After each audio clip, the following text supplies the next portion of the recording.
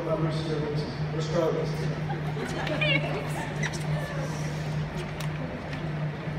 Oh,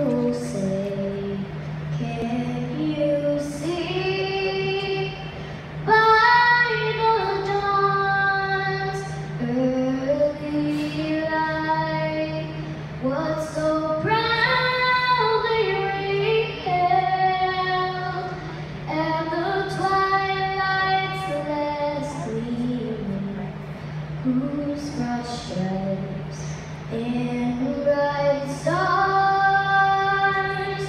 Grew a fight for the